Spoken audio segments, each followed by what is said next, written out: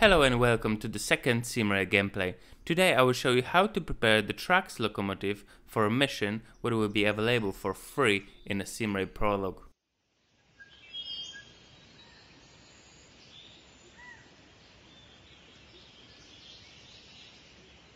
Turn on the battery and activate the driver's seat with a switch on the rear wall of the cabin. To sit on the driver's seat, press on it.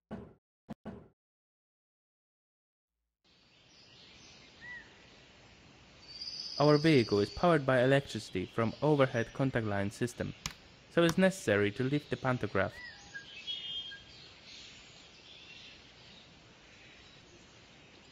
Now, close the quick circuit breaker. Wait for a quick circuit breaker to close, and also wait for the converter and compressor to start. The correct operation of these devices is necessary, for example, to supply the braking system of a train. Now, set the forward direction. Move the brake lever to the drive position.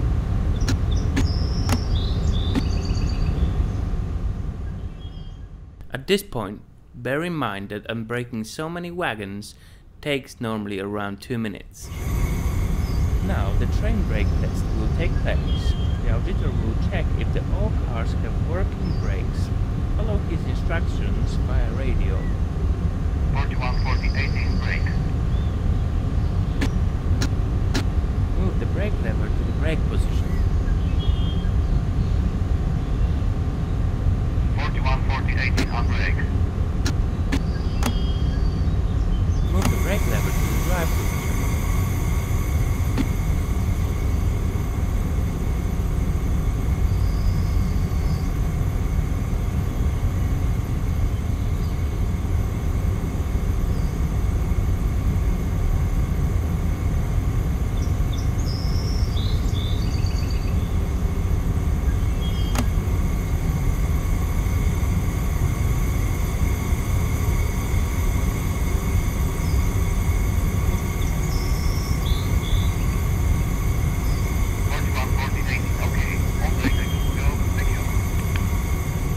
Use the call button on your radio telephone to confirm the readiness to the train dispatcher.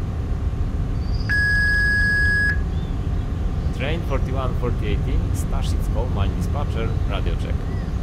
4140 good radio. Ready for train data. I have 25 cars, 2000 tons, length of 370 meters, one locomotive E186-134, driver Stevenson, ready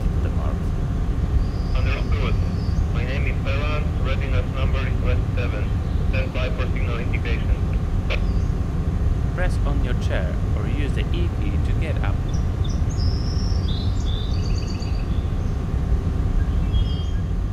Before we will be able to go, we need to release the parking brake. This button is placed just behind you on the rear wall of the cabin. To sit on the driver's seat, press on it.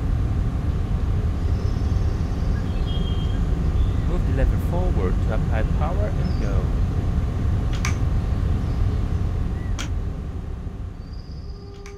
Okay, that's it for today. You'll be able to try the whole mission by yourself in a SimRail prologue, which will be available very soon.